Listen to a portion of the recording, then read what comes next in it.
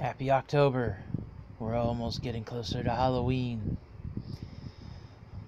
Today on Haunted Indiana Ghosts and Strange Phenomenon of the Hoosier State, written by James A. Willis, we'll be covering another classic legend here in Indianapolis the Hannah House. This is episode 31, episode 4 of season 3. The smell of death at Hannah House.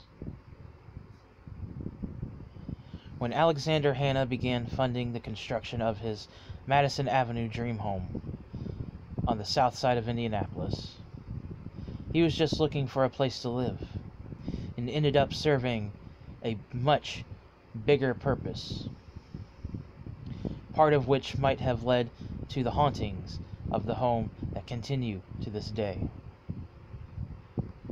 Completed in 1858, the house soon became a stop on the Underground Railroad, harboring escaped slaves on their way to Canada.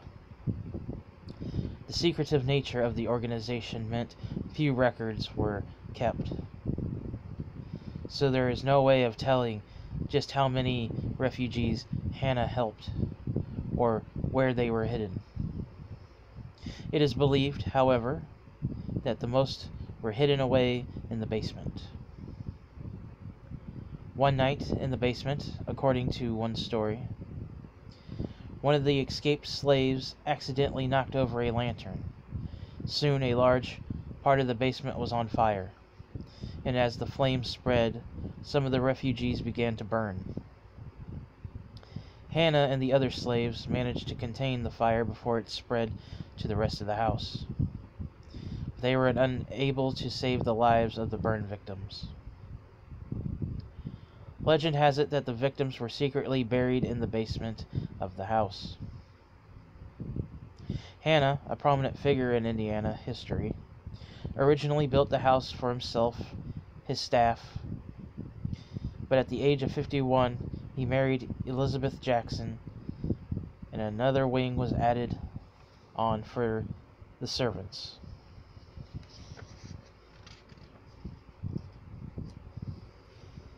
Hannah and Elizabeth remained in the Hannah house until the late 1890s, at which point it was sold off. There is no evidence that the Hannahs experienced anything paranormal inside the house. The next owners, however, quickly became convinced that there was something weird going on in the basement. Not knowing that escaped slaves were allegedly buried down here, the new family dismissed the strange noises as normal sounds that old houses make. The one thing they couldn't ignore was the overpowering odor of what could only be described as death that would waft through the house. Eventually, word leaked out about the bodies that might be in the basement. Suddenly, it all came together and made sense. Interestingly enough, once people began talking openly about what had happened in the basement, the smell of death began to dissipate, and then went away altogether.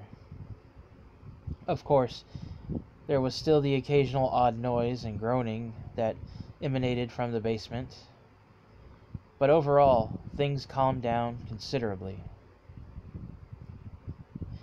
Maybe that's why the Hannahs decided to move back in. They're ghosts, that is. In the upstairs rooms, Doors and windows began to open and close on their own. Chandeliers moved by themselves as well.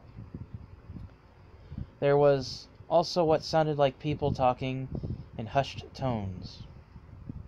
An older woman, believed to be Elizabeth Hannah, is also seen walking around on the top floors.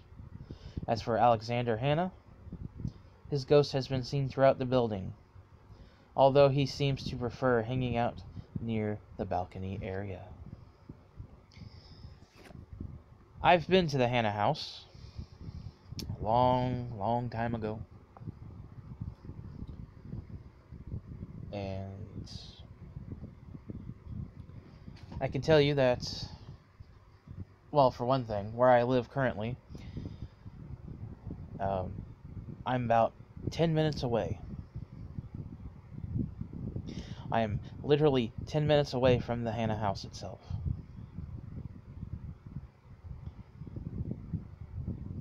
And when I visited the house a long time ago, it was on a field trip.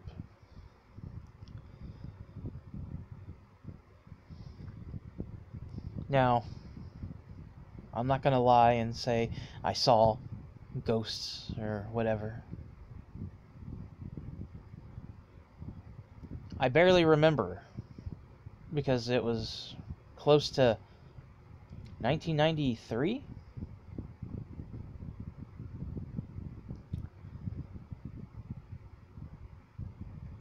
It's when Batman Returns was in the box office. So we're looking about maybe 92, 93.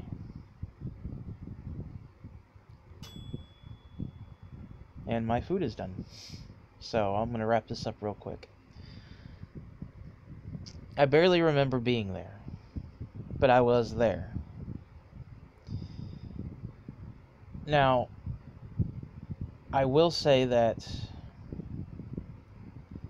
even though I didn't know about it, and the field trip was marketed as, you know, visiting a historical site. There was, you know, some fervor of this is a haunted house.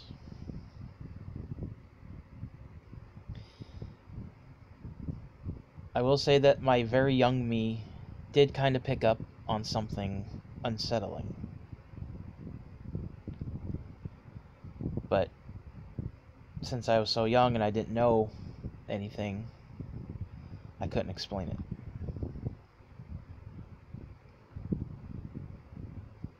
The Hannah House is still active. They do tours and they have parties and you can do things there. Uh, it's part of the Hannah Haunted Acres during Halloween time here. Of course, when we went, um, it was during the summer. I was at a daycare, so. And we would go on field trips. But, uh, that's going to about do it for this episode. If you have any questions about my further experiences, and I can gladly tell you what I remember or if uh, any questions at all, please feel free to leave them in the comment section down below. Uh, be sure to click that little bell icon to stay informed for the next exciting episode. And uh, all my links to my social medias are down in the bottom. And I hope you have a wonderful and awesome October.